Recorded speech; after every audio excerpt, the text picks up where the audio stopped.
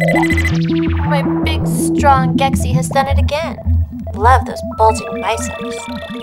These biceps are just the beginning, my fair maiden. Speaking of bulging, did I just say that out loud? Yep, I'm afraid you did.